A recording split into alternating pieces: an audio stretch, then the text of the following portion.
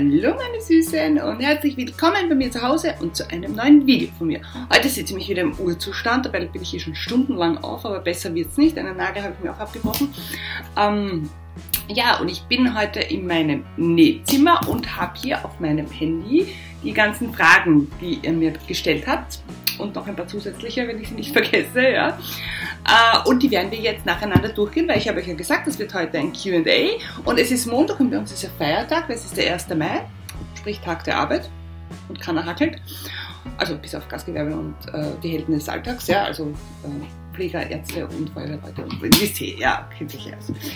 Ja, äh, wir fangen an, vier Videos zurück, weil alle Videos zurück ist ein bisschen anstrengend und ich glaube, die Fragen habe ich auch schon beantwortet. Sollte ich sie nicht beantwortet habe, schreibt es mir auch da bitte unten in die Kommentare rein, was ich vergessen habe zu beantworten. Ähm, die Frage war, was für einen Durchmesser hat euer Pool von, vom Helmut? Ein Mann. Äh, ja, 4,50 Meter. Ähm, und der Saugroboter ist vom Sconce. Ich weiß nicht, ob es das in Deutschland auch gibt in Sconce. Also aber den hat es jetzt bei uns gerade auch beim Aldi gegeben und ja, der war von Sconce und der hat kostet 250 Euro.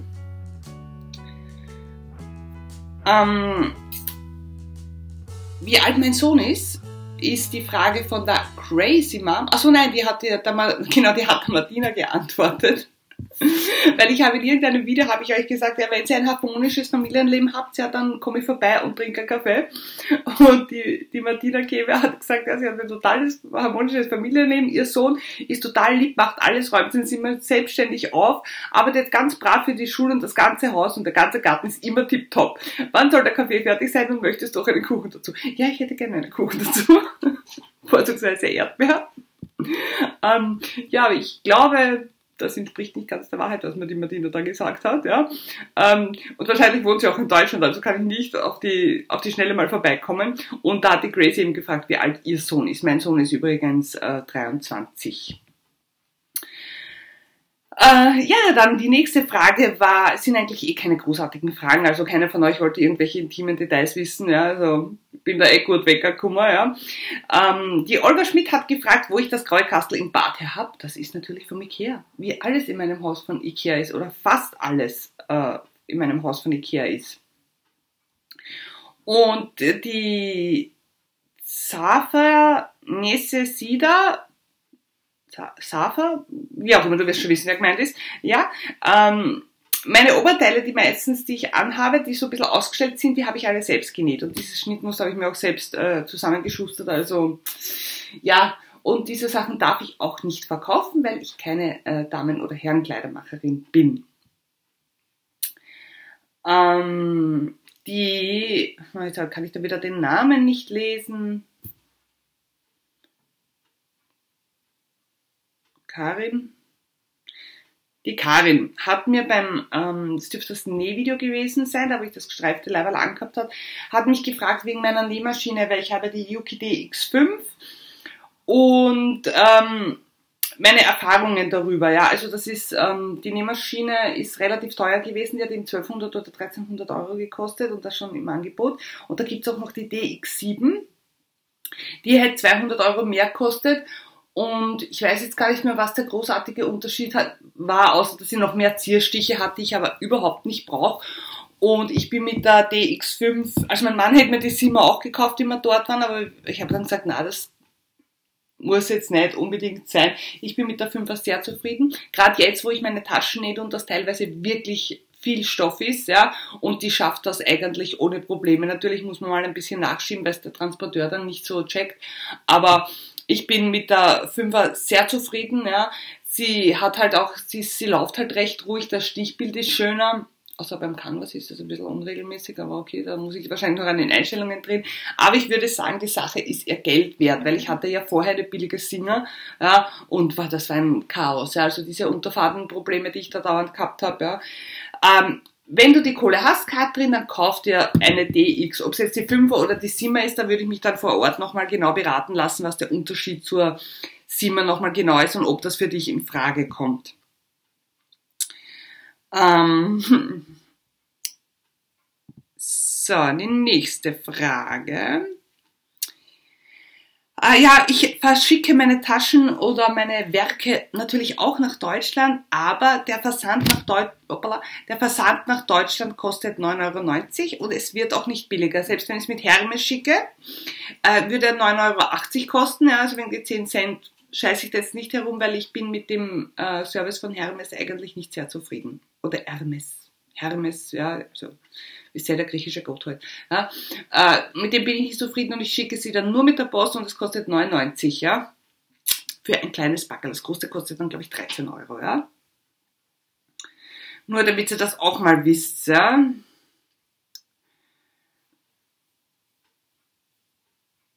Wie groß ist meine Matte in der Küche? Also die Matte in der Küche, wie groß ist die? 1,20 mal 60 ist die. Also da seht ihr mal wieder, was für eine kleine Küche er war. Ich wasche die in der Maschine mit 60 Grad, also zwischen 40 und 60 Grad und hause dann auch in Trockner, damit auch wirklich alle Hundehaare rausgehen. Ähm, würde ich aber nicht empfehlen, weil einmal hat sie sich verkältet und mein Trockner war im Arsch.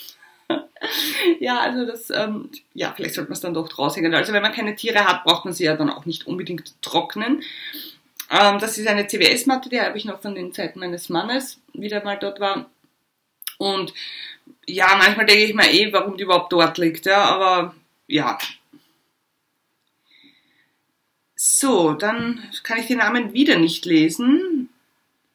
Sie hat auf jeden Fall geschrieben, hey, habt ihr wirklich eine vielleicht blöde Frage, du wäschst und bügelst ja eigentlich gerne und kannst dich kennst dich bestimmt aus. Wie trennst du deine Wäsche? Klar nach Farben, aber das macht ja jeder irgendwie anders. Würde mich interessieren.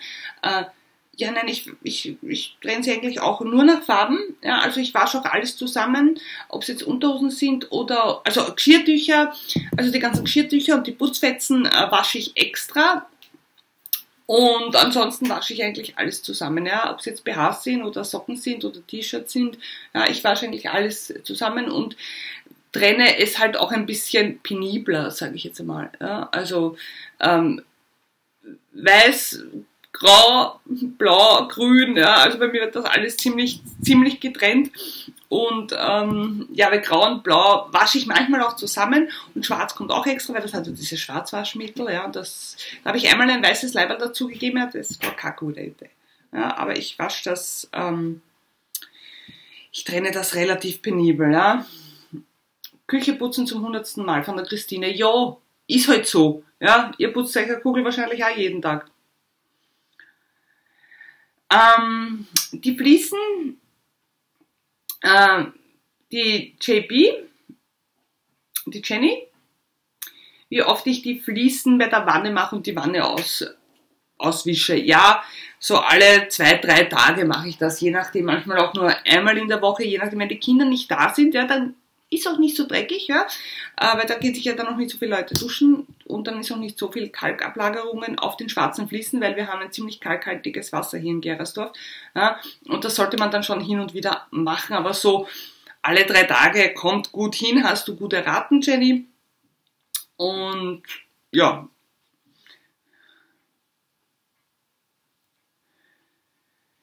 Gut. Ähm, Frage, was ist das für ein Schwamm in der Küche? Du meinst diesen nierenförmigen? Den habe ich damals beim Primer gekauft, da waren zwei Stück zu 2,50. Ja, ich finde den eigentlich ganz super. Ähm, und den habe ich beim Primark damals gekauft, ja.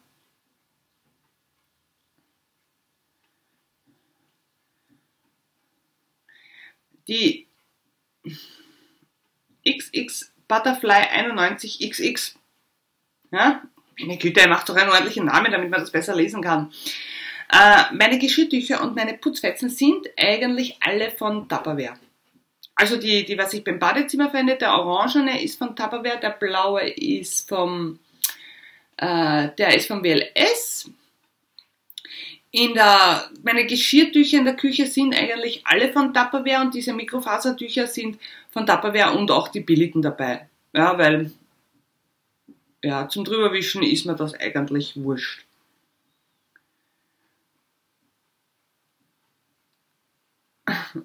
Maggie. Frage. Sind deine Hunde eigentlich immer da, wo du auch bist, auch wenn du arbeitest, oder liegen die auch mal alleine irgendwo oder bei deinem Mann oder den Kindern? Ähm, ja, meine Hunde, wenn ich so herumwusel im Haus, sind sie immer dort, wo ich bin. Ja? Und wenn ich arbeite, dann arbeite ich vorne im äh, Nagelzimmer und da liegen die Hunde hinten im ähm, Schlafzimmer, im Bett, wo sonst. Ne? Ähm, und wenn ich hier oben bin, so wie jetzt, ist der Bono da, aber der Zwetschge ist unten und spielt gerade Hausmeister, weil die Gartentüre offen ist. Aber sie sind schon meistens dort, wo ich bin, weil ich bin die Hand, die sie füttert. Und da sind sie halt auch immer dort, wo ich bin. Und der Kater ist eigentlich, auch wenn er denn zu Hause ist, der Schlampenbär, ja, weil der ist ja nur am Zirger, äh, ist er eigentlich auch meistens bei mir. Also seit neuestem, wenn ich herum bin, nähen, liegt er dann auch entweder bei der Couch oder da vor dem Fenster oder am, am Zuschneidetisch, am Stoff drauf, ja, also muss ich immer schauen, dass wenn ich was nähe, dass ich dann nicht äh, keine, keine Viecherhaare drauf habe, weil das, glaube ich, kommt nicht so gut, ja. Und also ja, und manchmal liegen sie dann auch ähm, bei meinem Mann, wenn der denn daheim ist, ja. Bei den Kindern sind die nie. Also die Hunde sind nie bei den, und die Katze ist eigentlich auch, sind nie bei den Kindern. Ja. Zweite Frage, was macht eigentlich eine Ausbildung? Wüsstest du nicht bald fertig sein? Möchtest du dir dann einen Job in dem Bereich suchen oder das, und das Nägelmachen dafür aufgeben? Nein. Also ich bin mit meiner Ausbildung bin ich fertig. Ich müsste, ich hätte im April meine Diplomarbeit schreiben sollen. Da ist mir dann Corona dazwischen gekommen, Gott sei Dank. Also ich habe nur einen Teil meiner Diplomarbeit geschrieben, die ersten 20 Seiten. Fehlen nur mehr 50. Und jetzt habe ich einen Termin für Oktober. Ja, es ist jetzt schon Mai, also morgen ist, nein, ja, erst, was ist denn heute? Nein, es ist 1. Juni. Was habe ich vorher gesagt? Es ist 1. Mai, er Tag der Arbeit. Ich bin auch ein Volltrottel, nicht? Es ist 1. Juni. Ja, wieso ist noch nicht frei? Äh, Pfingsten ist heute, genau. Aber ich sag's euch, ich bin total vorbei. Ja, es ist ja mittlerweile Juni, Juli, August, September, Oktober. Also ich habe jetzt noch vier Monate Zeit, diese Arbeit zu schreiben. Wahrscheinlich schreibe ich sie am 15. September. Ähm, ja, und nein, ich möchte dann in dem Bereich nicht arbeiten, also ich möchte meinen Nageljob nicht aufgeben und ich werde auch mein Hobby nicht aufgeben, das Nähen. Äh, und ja, meine Diplomarbeit handelt von der Patchwork Family. Tja, wie sollte es denn sonst sein? Ja, also äh, Probleme und äh, wie man diese in der Beratung lösen kann. Also die zehn häufigsten Probleme von der Patchwork Family und und und, ja. Und ja, ich habe die Ausbildung gemacht, hat mir 12.000 Euro, 12 Euro gekostet. Ja, was soll ich sagen? Ich habe sie. Lassen wir das. Ja, dann werde ich dann natürlich auch ja, mein Hauptjob ist, wenn ihr es noch nicht mitbekommen habt, ist äh, Nägel machen. Ich bin Nageltante, also Nageldesignerin. Das ist mein Hauptjob. Das mache ich aber nur am Vormittag. Ich sage es eh immer wieder dazu, dass ich einen Teilzeitjob habe. Ja, ich arbeite von 6 in der Früh bis 14 Uhr am, am Nachmittag, am Abend, am Nachmittag. Ja, das ist mein Hauptjob. Das erledige ich dann eben auch, wenn die Kinder in der Schule sind und mein Mann in der Arbeit ist. Somit habe ich da auch äh, Ruhe. Ähm, beim Arbeiten, ja, weil ich kann das eh nicht leiden, wenn ich arbeiten muss und tausend Leute rennen, äh, rennen da durch die Gegend. Das geht gar nicht, weil ich mein Studio zu Hause habe. Prost. Ach ja, ich habe das probiert mit dem mit der Lidl Eigenmarke Energy Drink. Ja, na, geht nicht. Ja, also, ja, ich trinke sehr viel, sehr viel Red Bull am Tag. Das waren auch ein paar Fragen immer, wie viel Red Bull ich trinke. Ich trinke momentan eigentlich nur zwei. Ist ja gar nicht. Also ich hatte schon Spitzenzeiten, da habe ich sechs am Tag getrunken. Da habe ich ähm, elf Stunden am Tag gearbeitet, 60 Stunden die Woche, ja. Also habe ich dann sechs am Tag getrunken. Jetzt trinke ich nur mehr zwei und zwei Kaffee oder manchmal drei, je nachdem, ob Besuch kommt oder nicht. Ähm, was man noch? Ja, ich habe mir das Nähen selbst beigebracht. Ich habe das nicht gelernt. Wir haben einmal in der Schule was nähen müssen, aber da habe ich mich erfolgreich davor gedrückt. Ich bin sehr autodidaktisch, was das, ähm, was das Lernen angeht. Also ich, ich, ähm, ich habe mir das Nägelmachen auch selbst beigebracht. Also das darfst du gar nicht laut sagen. Ja. Ich habe mich selbstständig gemacht, ohne je einen Kurs damit zu machen. Habe ich extra hübsch gemacht für euch. Ja. Ähm, aber zwar damals vor 15 Jahren war das noch nicht ganz so happig. Ähm, und ähm, meine Shirts, die ich nähe, sind großteils Eigenbau. Weil selbst wenn ich mir ein Schnittmuster runterlade, durch das immer auch alles verändern, das mache ich auch bei den Taschen oder bei den ganzen Sachen schon allein wegen der, ähm, wegen den, äh, wie heißt das, Lizenzen, ne? Bei Lizenz musst du nur zahlen, wenn du das eins zu eins machst und das mache ich ja nie. Ja? Ähm, hm, waren sonst noch irgendwelche Fragen? Mir ist da vorher eine eingefallen, die ich oft gefragt werde. Aber ich habe es vergessen.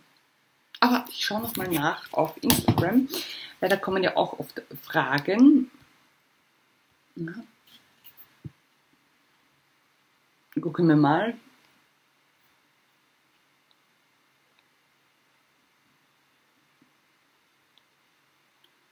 So. Ah, die Engel Gabi, auch eine meiner treuesten Followerinnen, die Engel.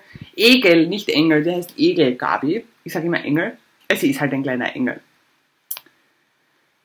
So, nein, da habe ich eigentlich auch nicht so wirklich die Fragen. Ähm, also ich finde jetzt gar keine. Ähm, ja, wie viel haben wir? Wir haben eine Viertelstunde.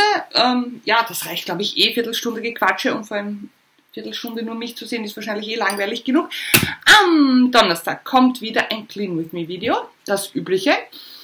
Uh, und am Montag drauf, ich werde jetzt am Montag werde ich abwechseln zwischen Nähvideos, Haul, dann eines wird eben diese, diese Fragenbeantwortungsgeschichte. Schauen wir mal, ja. Ihr, ihr wisst es ja eh schon, ihr folgt mir jetzt alle, also viele folgen mir ja schon sehr lange und ihr wisst, dass ich da eh relativ sprunghaft bin und ja nicht sehr beständig, was in meinen Algorithmus angeht, aber ich habe halt auch nicht immer Lust, das Gleiche zu machen. Und dann, deswegen schaue ich halt, dass ich am Montag die Videos ein bisschen variiere. Die Donnerstags Clean With Me Videos werden gleich und am Montag werden wir halt dann entweder nähen oder einkaufen gehen oder quatschen oder keine Ahnung, irgendein neues Projekt machen. Und mein Garten ist schon fast also beim nächsten, also am Donnerstag, wenn es denn schön ist, muss ich ja Gartenroutine auch ein bisschen mitmachen und da werdet ihr dann sehen, wie schön mein Garten ist. Es sind nämlich die kleinen Steinchen mittlerweile gekommen und jetzt schaut, hat das Ganze schon ein bisschen Gesicht. Es ist noch nicht ganz perfekt, aber das wird es wahrscheinlich nie werden. Jo, ich glaube, das war's für heute, meine Süßen. Ich hoffe, ich konnte alle eure Fragen beantworten. Wenn nicht, schreibt es mir, ihr könnt mir die Fragen nach wie vor gerne unten in die Infobox reinschreiben. Äh, ich werde sie dann nächstes Monat äh, beantworten. Am ersten Montag des Monats wird die Q&A-Geschichte sein. Und wir sehen uns dann am Donnerstag beim Clean With Me Videos. Wenn ihr neu seid auf meinem Kanal, abonniert mich doch bitte und folgt mir auf Instagram. Ich blende euch das da oder da ein. Ich weiß nicht, das ist immer seitenverkehrt. Ich bin zu blöd. Ja? Entweder da, theoretisch müsste es da sein. Ja? Aber es könnte auch da sein. ja? Äh, mein Instagram-Name. Und ja, da poste ich momentan recht viel von meinem Nähwerken natürlich, ja. Und ja, ich würde sagen, wir sehen uns am Donnerstag. Ich wünsche euch eine wunderbare Zeit bis dahin. Haltet die Ohren steif und ja, bis dann. Bussi, Baba.